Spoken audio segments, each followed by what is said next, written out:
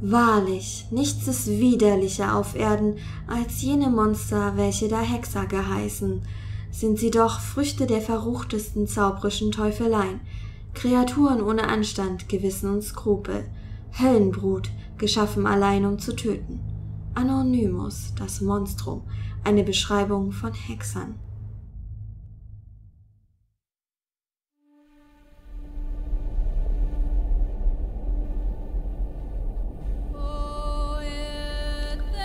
Sechs Jahre sind vergangen, seit die vereinten nördlichen Königreiche bei Brenna Nilfgaards Armeen schlugen.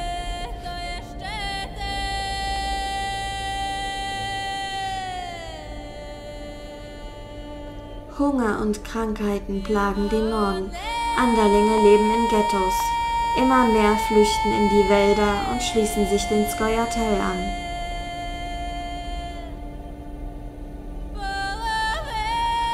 In Timerien wird ein heimtückischer Anschlag auf König Foltest verübt. Der Monsterjäger Gerald von Riva tötet den Attentäter. Ein Monat vergeht. Foltests Armee siegt am Pontar und beendet damit den Bürgerkrieg. Allerdings wird Foltest für diesen Triumph einen hohen Preis zahlen müssen. Temerien im Jahre 1271.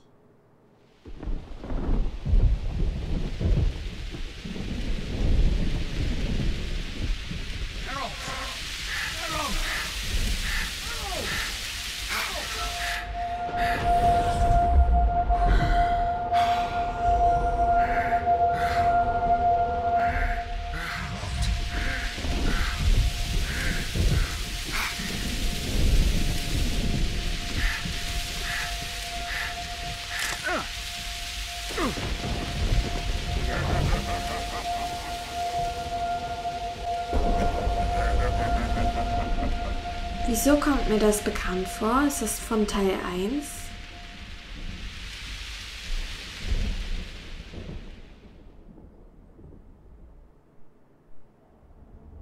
Prolog.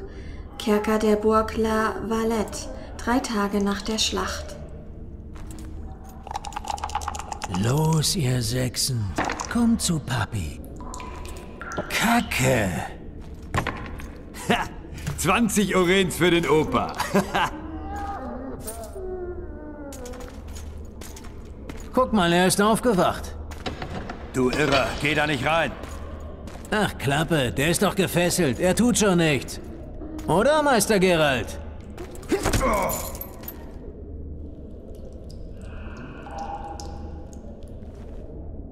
Würfel nochmal. Wieso? Die Würfel haben sich nicht bewegt. Ach, ich bescheiße. Nimm das zurück. Guck, er ist aufgewacht. Schon wieder. Monsterjäger. Man sehe und staune. Ein gewöhnlicher Drecksack. Es heißt, Hexer hätte man als Weisen in Hinterhöfen eingesammelt. Und dann mit ihnen rumexperimentiert. Und zur Sonnenwende treiben sie es mit den Hexen. Darum auch dieser teuflische Blick?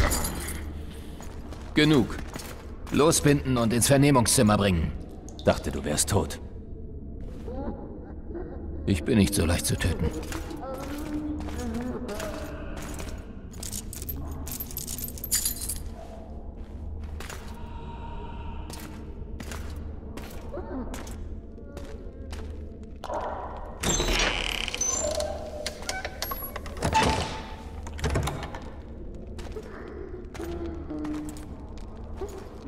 Man hat uns noch nicht vorgestellt. Vernon Roche. Okay, ich würde dir gern die Hand reichen, aber.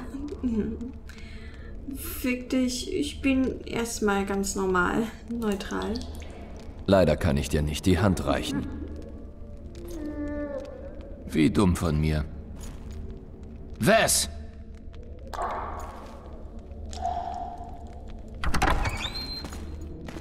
Mach ihn los.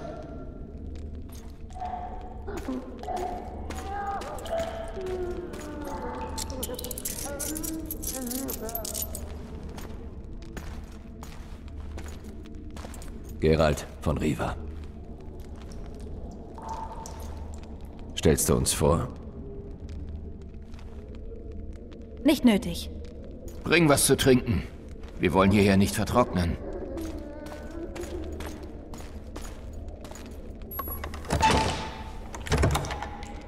Erzähl mir alles, die ganze Erstürmung, was in der Einsiedelei passiert ist. Und wenn ich mich weigere? Dann klopf ich dich weich. Ich mache meine Arbeit schon lange und bin sehr gut darin. Du als Hexer verträgst ja einiges. Verlass dich drauf. Im Zweifel landest du eben wieder in der Zelle. Und morgen kastrieren sie dich öffentlich, häuten dich und knüpfen dich auf. Hallo? So einfach. Weswegen denn? Für Temerien. Zu viel der Ehre. Wo darf ich anfangen? Es war ein langer Tag. Erzähl mir das Wichtigste. Hm, der König hat mich heute Morgen zu sich rufen lassen. Der Beginn der Erstürmung. Wir haben uns beim Tempel getrennt. Äh, ähm, ähm. Ich, äh, hab eigentlich keine Ahnung.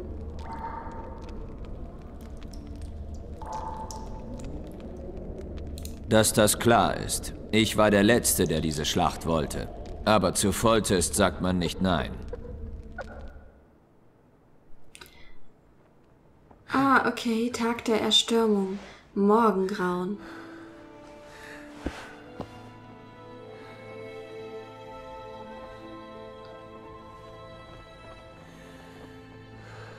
Wir erinnern uns, es gibt verschiedene Anfänge und ich habe gerade einen gewählt.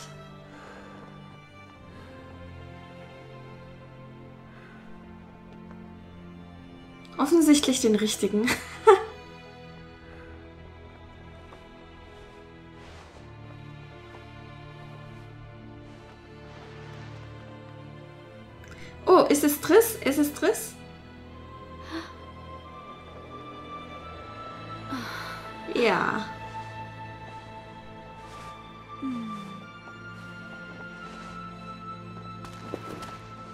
Hexer, bist du wach?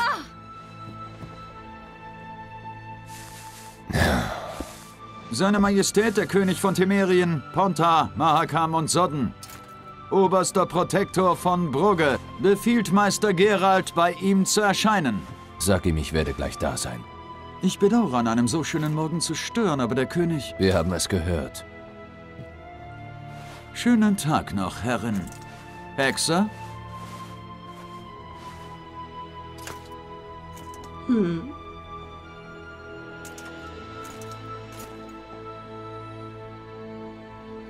Idiotischer Krieg. Der Morgen hätte so schön sein können. Ein Krieg kann doch nicht idiotisch sein, wenn dein König ihn führt. Gescheit, gescheite Kriege gibt es nicht. Ein Streit zwischen Geliebten, wegen dem Menschen sterben. Hm?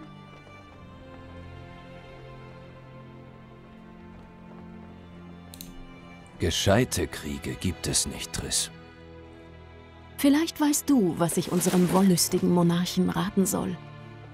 Keine Schürzen jagen, keine Bankerte zeugen und keine Kriege vom Zaum brechen. Genial. Ist dir klar, dass diese Bankerte einst nach dem Thron greifen könnten? Dann gibt es einen noch größeren und dümmeren Krieg.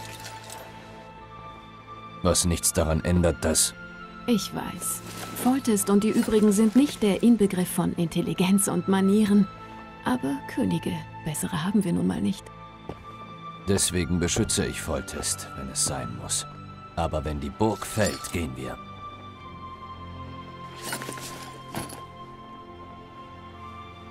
Hast du wieder von der wilden Jagd geträumt? Mhm.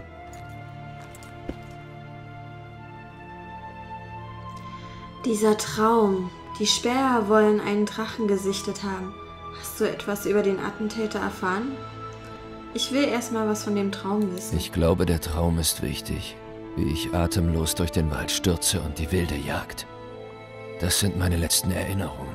Ich erwache und untersuche den Traum sofort auf Anhaltspunkte. Okay. Auf Hinweise. Irgendwas, was mein Gedächtnis zurückbringt. Träume können sehr mächtig sein. Manche sagen, sie könnten sogar die Wirklichkeit formen. Die Leute behaupten alles Mögliche. Leider vor allem Unsinn. Wir werden es erfahren. Ich bin sicher. Deswegen kam mir der Traum so bekannt vor, weil wir den tatsächlich im Teil 1 schon gesehen haben. Die Späher wollen. Wie war denn die Sektion dieses verhinderten Königsmörders? Fürchterlich. Seit du ihn getötet hast, ist schon über ein Monat vergangen. Die Leute des Königs wollten die Sektion allein durchführen. Ein Haufen von Laien. Was sie da herangekarrt hatten, konnte man schwerlich einen Leichnam nennen. Der König traut niemandem. Konntest du etwas erfahren? Das Alter konnte ich nicht mehr feststellen, aber vermutlich hat er im Dunkeln so gut gesehen wie du. Er hatte Katzenpupillen. Du meinst, dieser Mörder, der sich an sämtlichen Wachen vorbeigestohlen hat und um ein Haar den König und mich umgebracht hätte, war ein Hexer? Ich teile dir nur die Ergebnisse der Sektion mit. Ich habe diese pikante Neuigkeit für mich behalten und werde das auch weiterhin tun. Mir ist schon klar, was sie für dich bedeuten kann. Jetzt magst du sein Beschützer und königlicher Hexer sein, aber Herrengunst, Nebeldunst. Ein Späher schwört übrigens Stein und Bein am Fluss einen Drachen gesehen zu haben. Er will auf einen Vortrupp der Skoyatel gestoßen sein, der ihm fast das Licht ausgeblasen hätte. Aber dann sei ein Drache herangeflogen, sodass die Elfen sich zu Boden warfen und den Späher türmen ließen. Ein Drache mitten in der zivilisierten Welt? Gerald. Außerdem jagen Hexer doch keine Drachen. Oder hat sich das geändert? Nein. Und du hast recht, hier gibt es wohl kaum echte Drachen. Vielleicht war es ein Gabelschwanz oder ein Schleimling, ein ausgewachsener Wyvern. An der Geschichte stimmt wohl nur, dass der Späher den Elfen entkommen ist. Hm, okay. Es ist Zeit, sich mit diesem Lüstling von einem König und seinem idiotischen Krieg zu befassen. Ich komme später zu euch. Alles klar. Es kann natürlich sein, dass, egal welchen Anfang wir wählen, äh, Gerald immer damit beschäftigt ist. Ich muss hier erstmal klarkommen, Leute, ne? Halt, da war doch was. Ich konnte doch da gerade was untersuchen. Ach, unterhalten, nein. Unterhalten müssen wir uns nicht mehr. Gibt es hier nichts zum Aufsammeln? Doch. Äh, alles nehmen? Hier nicht. Okay. Na dann. Tschüss, Triss.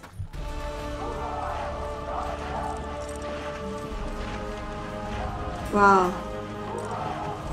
Ich muss mich mal ein bisschen umgucken. Nehmt es mir nicht übel. Ich habe es, wie gesagt, noch nicht gesehen. Äh, was war das? Aber die Stimmen, ne? Das klingt viel mehr als die paar Leute da unten. Was ist hier das für ein Zelt? Halt. Kräuter sammeln. Nur damit wir mal einen Anfang gemacht haben. Hier können wir nicht rein. Schade.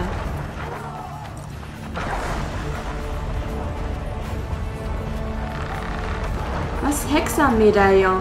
Verwende das Medaillon, um Behältnisse, Monster, Orte der Macht sowie Gefahren in der Nähe zu identifizieren. Ich war noch nicht fertig mit Lesen. Hallo?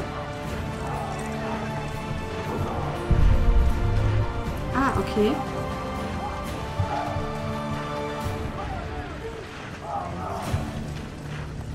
Hm. Das war mir jetzt ein bisschen zu kurz. Schön, dich zu sehen. Sei gegrüßt, Hexer.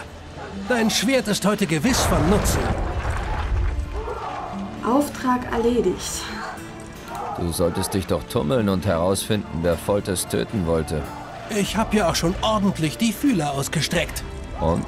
Die Sache ist knifflig. Du kennst angeblich Leute, die dir helfen können. Ich kann dich zu jedem Beutelschneider Temeriens führen. Aber der Attentäter war nicht von hier. Bist du sicher? So sicher, wie ich dich vor mir sehe. Wird Folters die Belagerung nun beenden? Heute stürmen wir, heißt es. Wird auch Zeit. Ich sitze lieber am Lagerfeuer, als meinen Hals zu riskieren. Kann ich verstehen.